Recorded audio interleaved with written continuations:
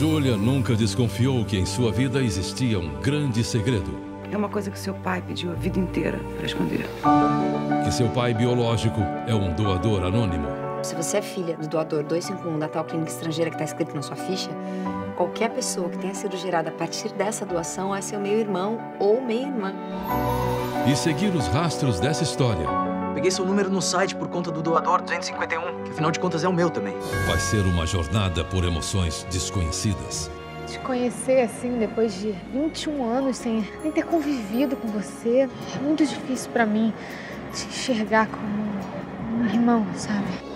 Think to myself, what a wonderful